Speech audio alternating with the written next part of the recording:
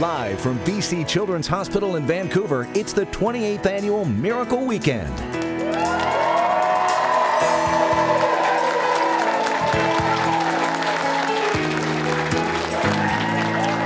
Yes, and welcome. We are live from BC Children's Hospital for the 28th annual Miracle Weekend. We're here this evening and all day tomorrow at the hospital, which serves close to a million children living in BC and the Yukon. And I get to hang out with you guys on Saturday night. What could be better? I'm so excited. Like our old days. It isn't it? We'll show you stories about the amazing kids who've been at this hospital and the caregivers who help them. We'll also show you how your donations are used to fund the equipment and research that save kids' lives. I'm here with Val Mackey, and she's the uh, chair of the Credit Union's Insurance and Financial Services Committee, which, very fancy title.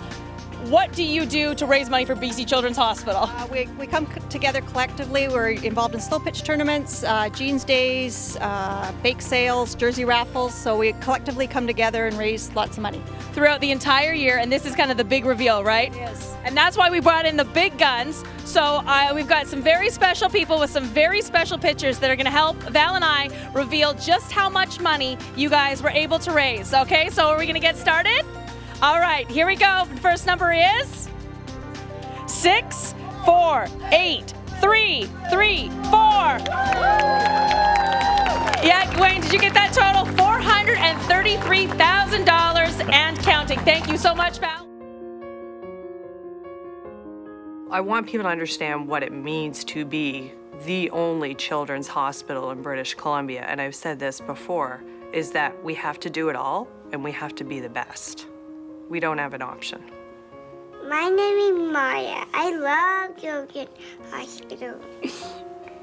Well, you love it because it has become a second home to us.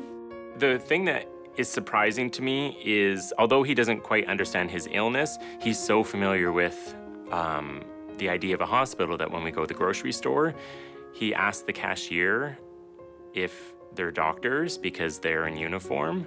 So he assumes that um, the hospital is everywhere. And I'm happy that he is so comfortable with the hospital that he doesn't fear it. It saddens me, though, that that's his reality. BC Children's Hospital saved my life. Children's is where Jack was born, it was where he was saved, and it's where he will be raised. We're here one to two times a week. This is a home for him. It's a home away from home, and we're very lucky to have it. When I grow up, I want to be a, a nurse at BC Children's Hospital. It's an unbelievable collaborative environment. So I feel very lucky. I actually feel very privileged, and there's many days where I feel I lucked out because I've got the best job in the world. Oscar still loves to come to BC Children's even after two bouts of cancer, and I think it's because it's not a depressing place to, to be. It's full of light, it's full of love, and it's full of hope.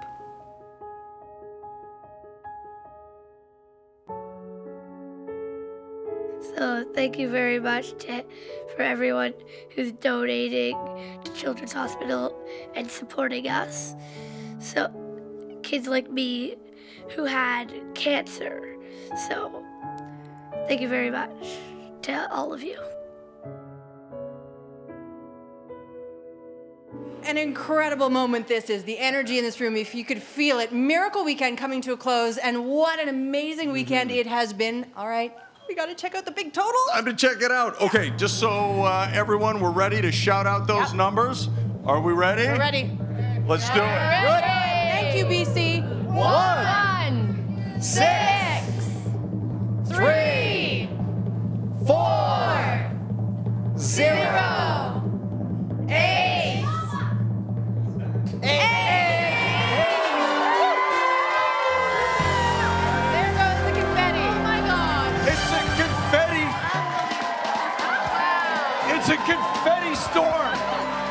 Thank you very much, British Columbia. That was absolutely amazing.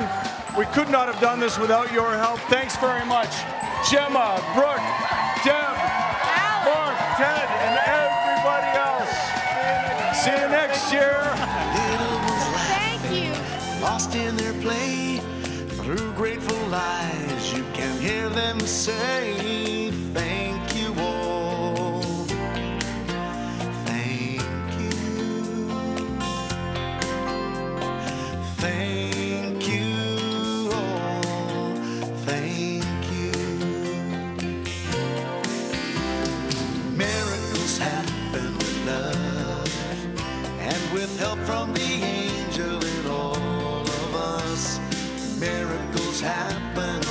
yes they do. Here's hoping someday what happens for you, and the peace comes to you from above. Miracles happen with love.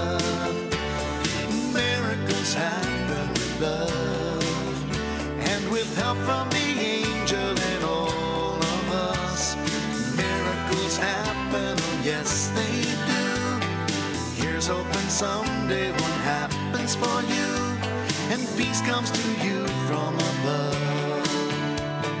Miracles happen with love.